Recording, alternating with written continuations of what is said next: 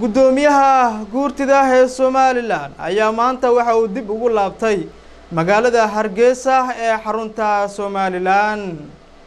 waryaheena faysal kacan ayaa warbixin umuurtaasi ku saabsan ka soo diray magaalada hargeysa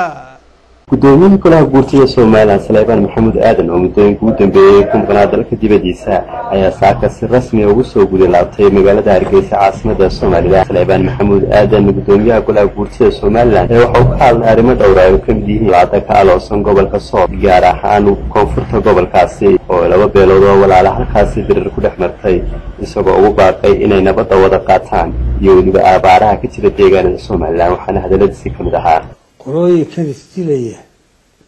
dee wax kalaynu odhan karaa ma jirtee ilaahay ha soo hadeeyo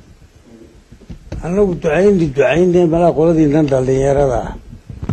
waa hadhadoo de ilaahay wuu dhegaystaa aan wada ducayno iyagana waxaanu leenahay waryaadha colka hala joojo oo colka hala joojo nin ninkii dhintaa oo labadii noqdoba waa ka dhinto qaranku ka dhinta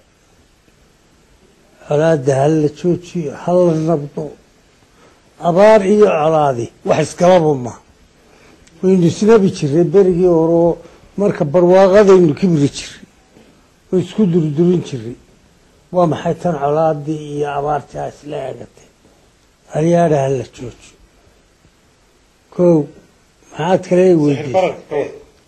sicir bararka dee waxaa wadaa soo xoolo istaagay xoolahaa yar iyo wixii dibadda laynooga soo diro malaa hadda waxaaba badan. Inta dadkeennu inoogu deeqo allaha dhowro. Abaartana dee ilaahay naga jabiyo. Sicir bararka doolar weeye doolarkuna dibadda iyo xoolahaa yar buu dan yahay berigii hore. Dhalook buu odhan jira dhalook bay ku dhejiyeen. Way iska hadalkan yidhi maxay ka qaban karaan ma iyagaa le somaliland baa la dee. Somalilandna way isku raacsan tahay. Waxay inoo diidayaan intaa yar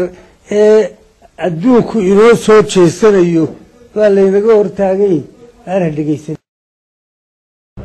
faysal yuusuf kacan wararka african keba t v magaalada hargeysa